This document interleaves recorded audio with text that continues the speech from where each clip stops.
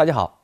现在我们开始学习第一讲的第一节，为什么还要读马克思？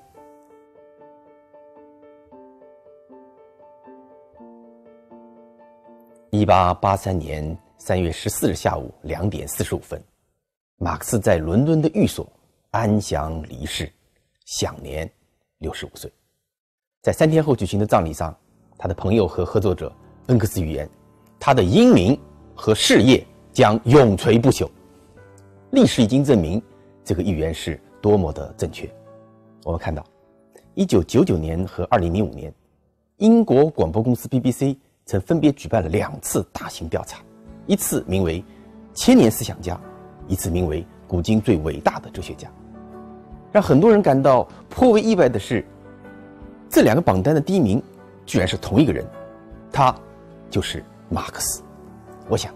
这些充分说明了马克思在人类历史上，准确的说，在人类思想史上的重要位置。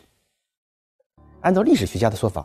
马克思生活在所谓的维多利亚时代。维多利亚女王是19世纪英国的君主，在她的统治时期，英国的资本主义迅猛发展，国力达到了鼎盛，成为了一个日不落帝国。于是人们就不禁会问：一百多年过去了，曾经的日不落帝国早已是昨日黄花，那么马克思还没有过时吗？或者换一种问法，也就是说，在今天，在二十一世纪的今天，我们为什么还要读马克思呢？我的回答是肯定的。首先，这是因为马克思已经改变，而且正在继续改变我们这个世界。马克思说：“哲学家们只是用不同的方式解释世界，问题在于改变世界。”他不仅是这么说的，更是这么做的。作为一个革命家，马克思的毕生使命就是以这种或者那种方式参加推翻资本主义社会及其所建立的国家设施的事业。参加现代无产阶级的解放事业。事实上，流亡到英国以后，马克思有意识地减少了自己的政治活动、革命活动。但是，我们看到，在他的思想的指引下，19世纪末、20世纪初，西欧的无产阶级政党不断地发展壮大，日益成为西方政治舞台上的一支重要力量。1917年4月16日深夜，当时流亡国外的列宁。乘火车悄悄抵达圣彼得堡的芬兰车站。半年后的十一月七日，也就是俄历的十月二十五日，列宁领导下的布尔什维党发动武装起义，在震撼世界的十天里，建立了人类历史上第一个由马克思主义政党领导的社会主义国家——苏联。今天，苏联已经成为历史，但是谁能够否认，现代世界历史的进程及其面貌？已经因为十月革命和苏联发生了重大改变呢。毛主席说：“十月革命一声炮响，给中国送来了马克思列宁主义。当时正在探索救亡图存道路的中国人，有了一个前进的灯塔。一九二一年，中国共产党成立，中国人在前进的道路上则有了一个真正的主心骨。一九四九年，中华人民共和国成立。”中国人则成为了国家、社会以及自己命运的主人，实现了向民主制度的伟大跨越。我们看到，六十五年来，中国人在中国共产党的领导下进行社会主义的革命和建设，找到了一条符合中国国情，最重要的是，这条符合中国国情的道路得到了世界人民的认可，于是。我们看到，国家一天天走向繁荣富强，民族一天天走向伟大复兴。二零一一年初，根据日本媒体的报道，二零一零年，中国的国民生产总值 GDP 超过了日本，成为世界第二大经济体。在此之后，全球的经济学家，特别是新闻界，纷纷猜测，猜测什么呢？大家都在猜测中国。何时超过美国，成为世界最大的经济体？我们看到，计算口径不同，那么预测的结果呢，也会有所不同。不过，不管是世界银行预测的二零一四年，还是英国《经济学人》杂志预测的二零一八年，总之，已经有越来越多的人看到，中国共产党领导下的中国将会在不久的将来成为世界经济的领头羊。其次，这是因为马克思使我们对资本主义生产方式的科学理解成为可能。恩格斯认为，马克思有两个伟大发现，其中第二个就是发现了资本主义生产方式，并科学揭示了它的运动规律及其历史命运。伊格尔顿，当代英国最重要的文理人家，他说：“就像牛顿发现了看不见的力，即万有引力定律；弗洛伊德发现了看不见的现象，即潜意识的工作机制一样，马克思揭示了我们日常生活中一个难以察觉的实体，那就是资本主义生产方式。”二十世纪八十年代初，当今最重要的主流社会理论家。英国人安东尼·基登斯他说：“对于任何试图理解十八世纪以来横扫整个世界的大规模变迁的人来说，马克思关于资本主义生产方式的分析仍然是一个必要的核心。所以，我们一点儿也不奇怪的看到，每当资本主义生产方式遇到这样或那样的问题，特别遭遇经济危机的时候，人们都会不约而同的转向马克思。”希望从他这里获得某种教育，因为正是马克思，而且首要的是马克思，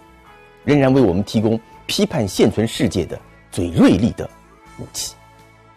最后，这是因为马克思已经融入当代思想的主流，成为一种无法割裂的传统，或者说文化基因。其实，在十九世纪的时候，马克思是一个流亡。英国的政治流亡者，他的思想被保守派甚至是民主派竞相排斥，是一种异端的革命思想。